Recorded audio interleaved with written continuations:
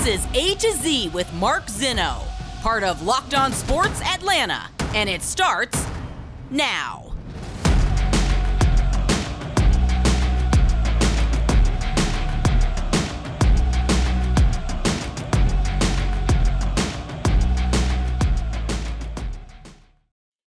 Good afternoon. Welcome to A to Z here on Locked On Sports Atlanta, where today I tell you there's still a lot of series left. Welcome in. We are live here on this Friday, final road show of the week, final show of the week, as we get you guys set for the weekend. Appreciate you guys starting your day with A to Z and Locked On Sports Atlanta. Give us a follow on Twitter at Locked On ATL. Of course, I'm at Mark Zinno, M A R K Z I N N O. We have some uh, NFL news to get to. An interesting stat about the Falcons that I'm very curious to see how it determines the outcome of their season. So we've got that stuff to do. Of course, Major League Baseball news all around, but let's start with the Atlanta Braves and their huge series with the New York Mets last night. Did not go as planned. It did not go as planned for Kyle Wright.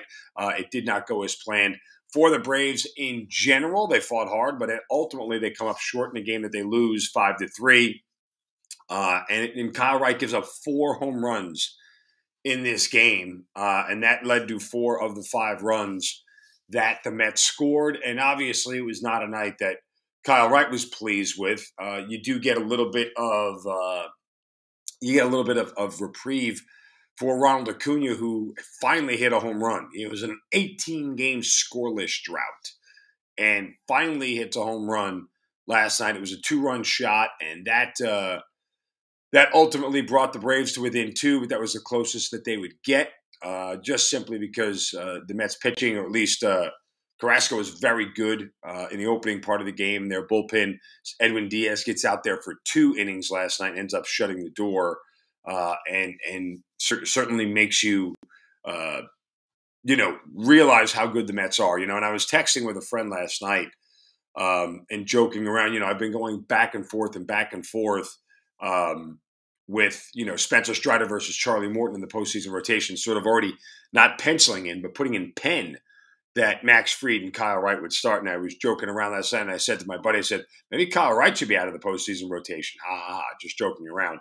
But, you know, he said to me, he goes, man, like the Mets are so patient up there. You know, they, they are so good at hitting and, and, and you know, they, they, they take so many pitches and it drives them nuts. And I'm like, yeah, man, that's a, the Mets don't hit the ball out of the ballpark a lot, uh, comparatively speaking to other teams. But what they do is they're professional hitters from top to bottom, one through nine in that lineup. Even the Stay Puft Marshmallow guy is pretty good at that. Yeah, Vogelbach. Uh, he looks uncomfortable in that uniform, by the way.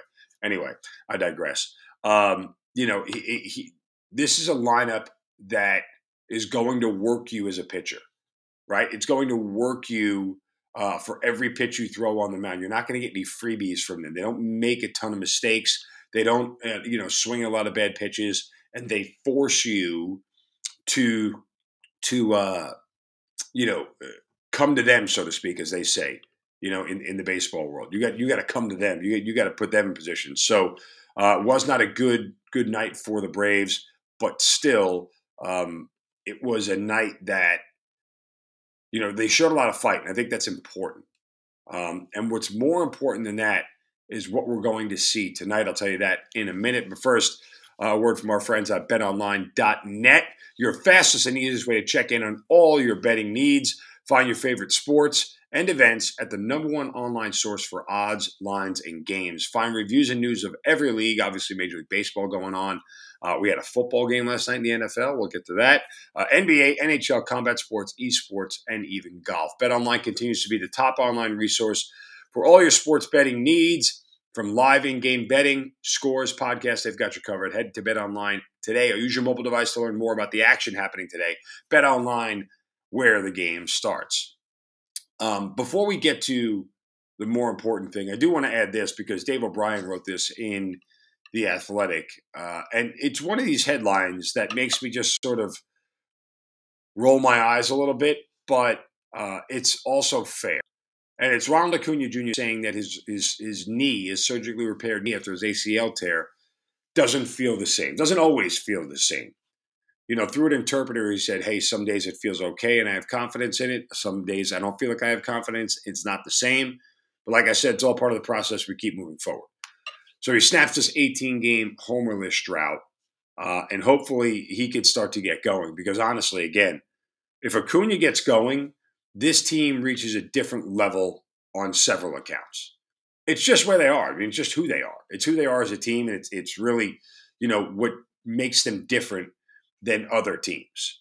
Um, because I think that is something that uh, when he is going at the top of the order, everybody else seems to benefit. Now, the more important thing for the Atlanta Braves is about what we see tonight from Ian Anderson. You know, there's an old saying in baseball that momentum is only as good as the next day's starting pitcher. Uh, and even during the Braves' 14 game win streak that put them back in contention this year, right? Uh, Ian Anderson wasn't spectacular. But, you know, he had a good start last time out. He was very, very effective. He goes six innings, gives up just one hit and strikes out nine. But when you go back through that 14 game win streak that started on June 1st, so the beginning of the year, you know, June 2nd, he gives up 10 hits and five runs uh, in six innings. And then he gives up two hit, two runs, six hits, and six innings against Oakland, which is a bad offensive team. And then he gives up six hits, four runs, and four innings to the Nationals. Those were his three starts. Uh, and, and, and the run support he got in those games was 13, 13, and 9. That's momentum is only as good as the next day's starting pitcher. Okay. Unfortunately, Ian Anderson, I, I feel like has, has, has pitched himself out of the postseason rotation. It's solely why Jake Odorizzi is here, right?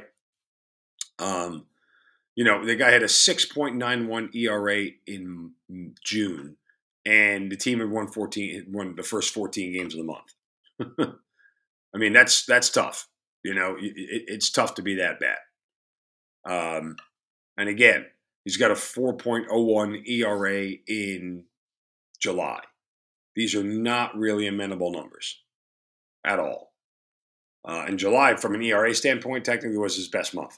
He was 466 in uh, in April, 413 in May. We just told you June, not July. So uh, if the Braves don't want to start out this series losing the first two and then having to win three in a row just to gain a game in the standings, which again is a sign of a good team, right? Like that's not anything that you should be all that um, all that upset about if you're a Braves fan. But, you know, the standpoint of you had two pitchers on the mound um, that you won with, well, at least one you won with in the playoffs last year, one you won with all this year. Need, need to get something better for me and Anderson tonight. So we'll wait and see how it goes. I don't have a ton of confidence. I'll be perfectly honest. I just genuinely don't. I think Ian Anderson for me is, uh, at least in 2022, is doghouse. Uh, not a guy I want to give the ball to, but again, you know, this is a uh, this is a team right now that needs Ian Anderson more than anything, uh, and let's see if he shows up. All right, coming up next, uh, the NFL makes a move um, in the Deshaun Watson case, but we don't have a timeline yet. Plus, the Atlanta Falcons and a stat that I think could be very telling for them coming up this year. That's next right here on A to Z on Locked On Sports Atlanta, free on YouTube, and wherever you get your podcast, search Locked On Sports Atlanta.